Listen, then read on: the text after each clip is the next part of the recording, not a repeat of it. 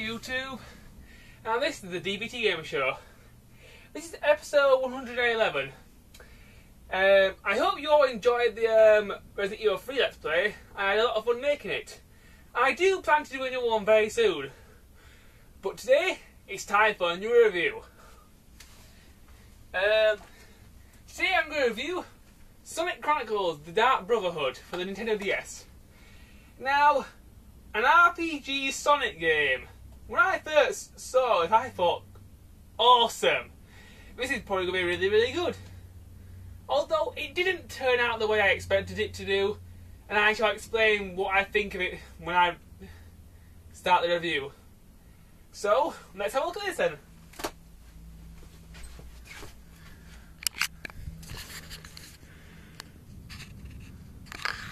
Right, um, now that the camera's in position, we can start the review.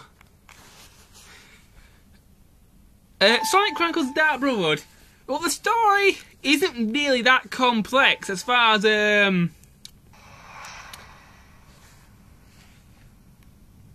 it really isn't that, complex. A lot of RPGs these have really good storylines, like the Final Fantasy series.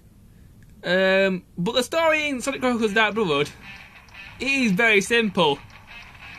All you, the story is basically an evil alien race of echidnas have um, stolen the Chaos Emeralds, and you have to go get them back.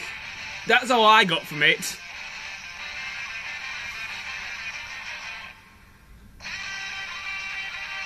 So, yeah.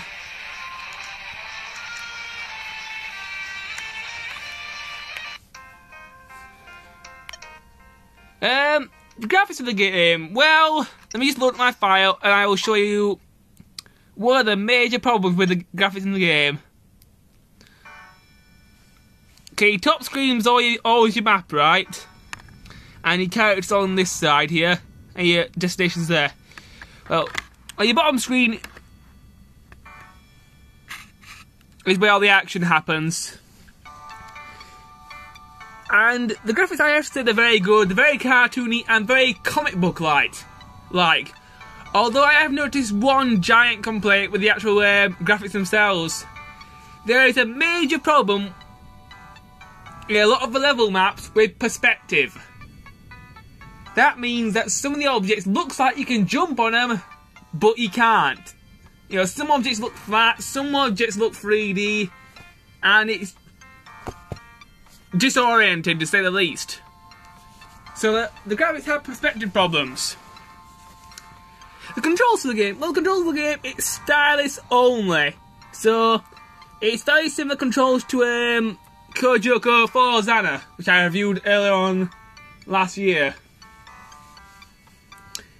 Um, the music for the game is pretty good. Crush 40 is not on it, but the music is still pretty good. The gameplay is an RPG, and the gameplay, as far as I'm concerned, it's okay. The good stuff about the game, well, the story, it's it keeps you entertained. That's basically it. The cutscenes, they're pretty good, I suppose. The gameplay is quite a lot of fun going through dungeons and um, killing enemies. Uh, characters, there's a lot, there's quite a lot of characters in the game. you get to play as. Um, you get to play as Knuckles, Sonic, uh, Tails, Amy Rose, Rouge the Bat, Big the Cat, Cream the Rabbit. There's also this Dr. Robotnik, which you get to play as. And there's also um, this character called Shade, I think. So there are a lot of characters in the game that you can play as. There are several shops in the game, so you can buy equipment for your um, characters. Although there's not that many, there's not that many shops. There's only there's less than five shops in the entire game, and the equips don't really make a difference to your character at all. Most of the um, battle system relies on you getting all these um, touchscreen actions right. Uh, I'll find one enemy and show you one battle, cause yeah, I might not be very good because I'm I haven't played this game in a long time. Right. You have power. Uh, basically, have attacks, which you can just do without any problem. Power moves, you have to do a special act. I'm going to try to do the axe kick on the um, big guy. Then to have Tails tinker with the enemy. Uh, Knuckles can use the uppercut on the enemies.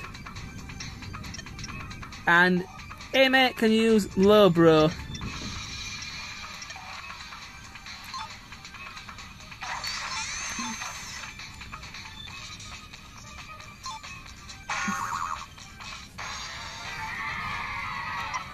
The battles do seem pretty easy. Although I have beaten this game three or four times now, and all your stats carry over to your next to your next playthrough. Um, but the problem I have with the battle system is if you screw up once on the um,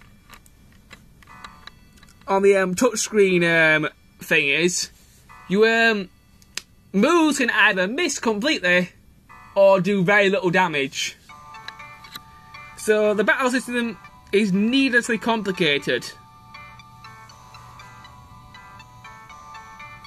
Um, there's very little else I can say about the game. So, um, let's go to the bad stuff.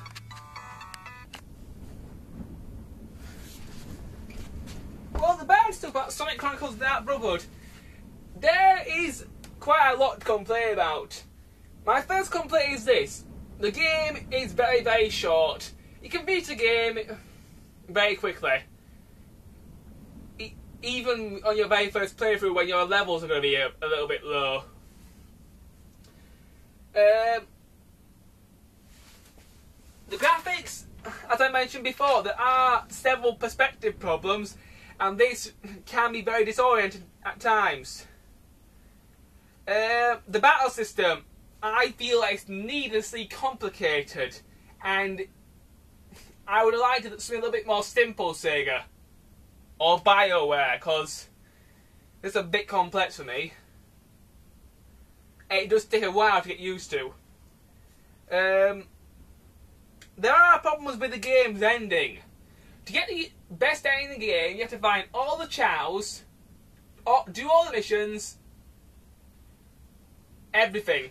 I even have a strategy guide, and even with that at my side, I can't get the best ending in the game. I've seen both endings on YouTube, and neither of them are that good. So, Sonic Chronicles: The Dark Brotherhood, I thought it was going to, was going to be a good Sonic game, but in a lot of ways, it was a disappointment. So, if Sega does decide to make a new RPG, I suggest they make a better one than this one, because this one wasn't really that good. My rating for Sonic Chronicles of Dark Brotherhood is a 2.5 out of 5. It's not a bad game, it's not a good game either. It's mediocre. Is it worth buying? Unless you're a die-hard Sonic fan, I'd probably say no. So it gets a 2.5 out of 5. My next review will be House of the Dead Overkill on the Nintendo Wii. But until then, bye!